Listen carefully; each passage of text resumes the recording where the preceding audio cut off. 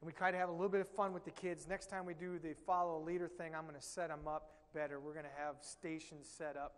We're going to have them sitting there or on there, have them a long line, and we're going to get people to do things.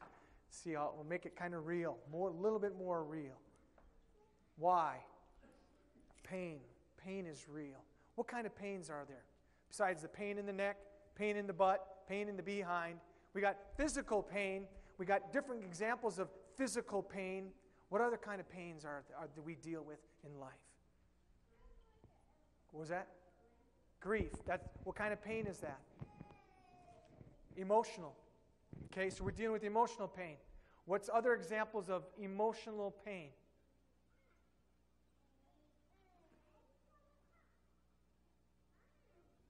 Was that? Sadness, anxiety, depression, loneliness. There's a lot more. Death, loss, separation, rejection, forsaken, lonely, forgotten, left behind. Chill out. I wasn't even talking that loud. All right, buddy. I'm going, okay. Emotional pain. You ever felt the emotional pain of embarrassment? I'm embarrassed. What other kind of pain is there? Emotional pain.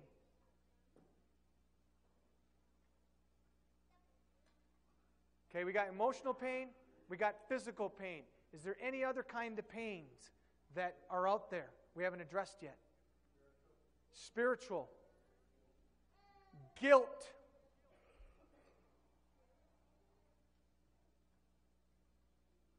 I had somebody this past week.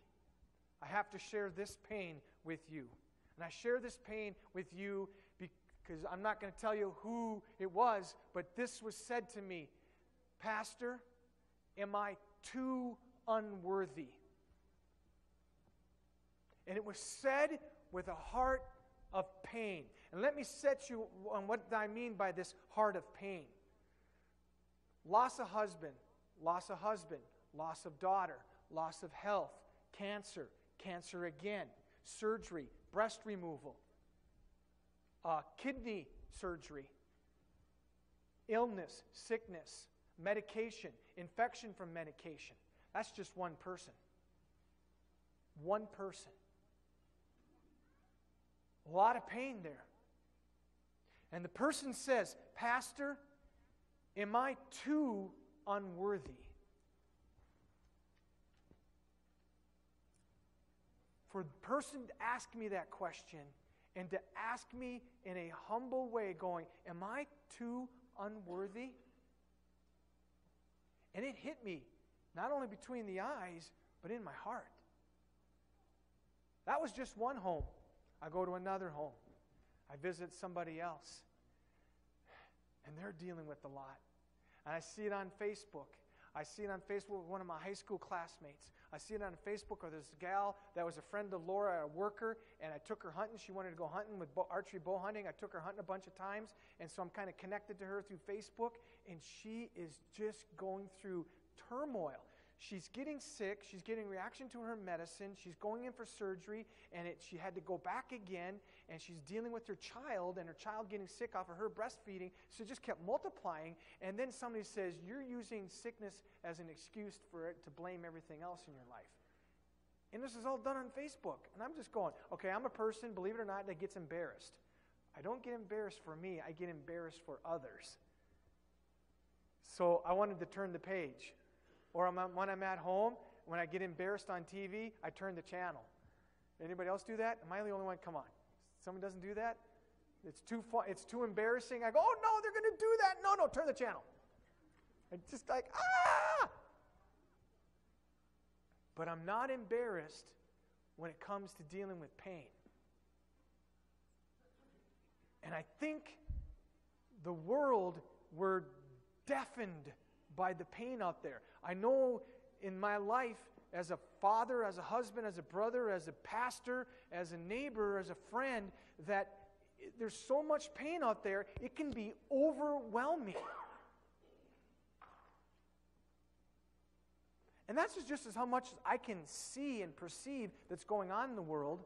And when I deal with my pain, well, none of your pain matters, right? If I'm in enough pain and enough discomfort, I don't deal with anybody else. Do you? Be honest. Do you guys deal with anybody else's pain when you're in pain? Mothers, I'm not knocking you here. I know you go through pain, and I know you got a, a kid on the hip, and you're mopping, and you're on the phone, and you're dealing. Yeah, okay, so I'm not mocking that. I'm not mocking that. I can't do that anyway. I can try.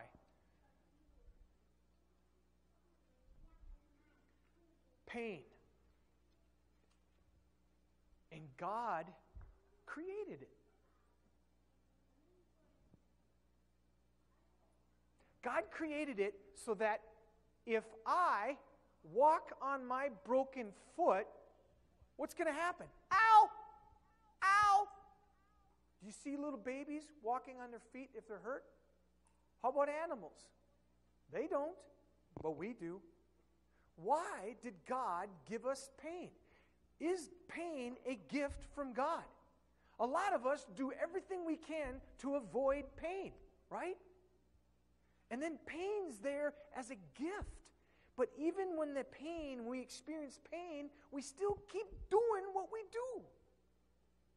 Hence, it's a gift. It's meant to help us, it's meant to stop us, it's meant to save us. Example, and then we move on. Leprosy. Who's a professional medical person? Check me on these because I've read them in two different books and the gift of pain. But when it comes to lepers, lepers' main problem is, is a deadening of the senses of their pain senses. So, what that means is people, things happen to their fingers, to their face, to their extremities, and their bodies and their legs because they don't feel the pain.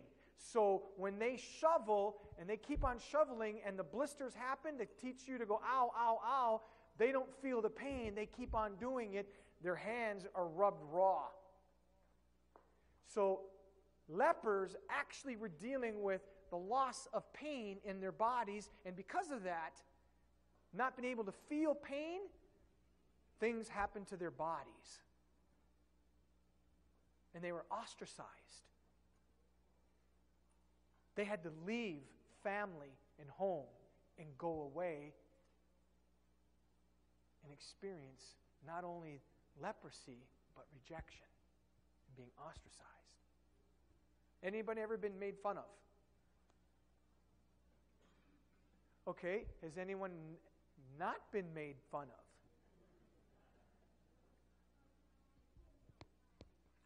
of? Charlie, where are you? You're big. Gene, have you been made fun of? Really? When you were smaller or when you're, when you're big? When you were skinnier. Now you can't tr- run me down, can you?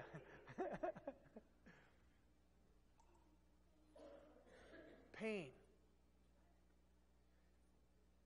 The pain and all the pain that's out there in the world.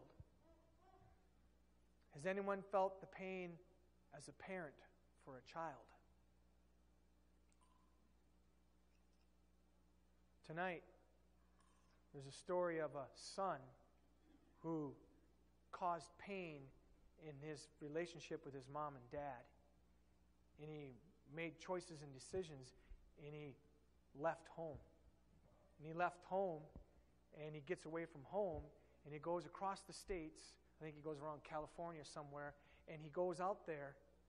And then after a while, he came to his senses, and he writes a letter back to them. And he says this He says, Dear mom and dad, I've been the cause of a lot of pain in your life.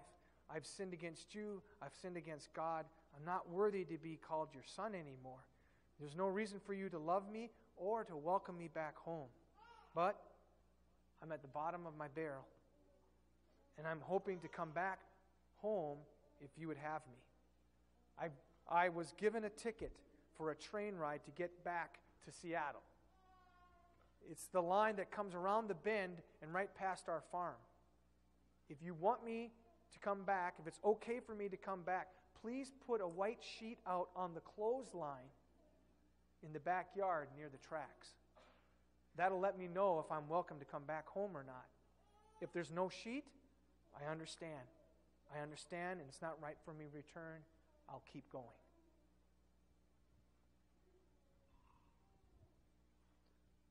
After he wrote the letter and mailed it, a couple days later, he waits for them to receive the letter, and he gets on the train and he goes.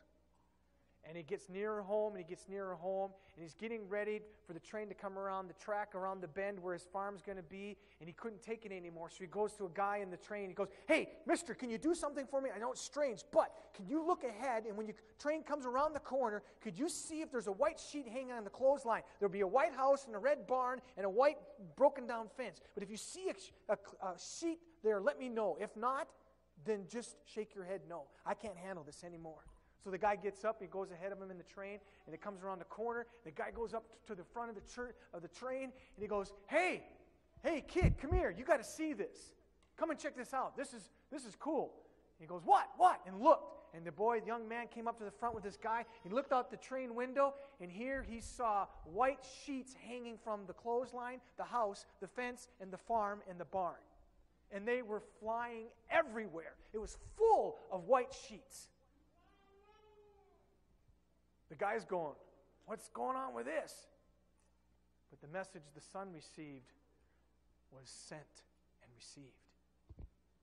He knew he was welcome home.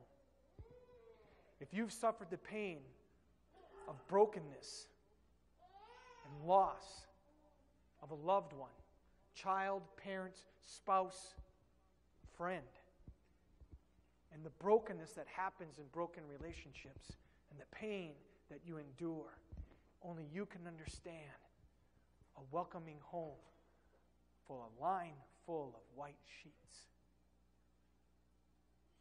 And in our life, we can mistakenly think that the pain we are going through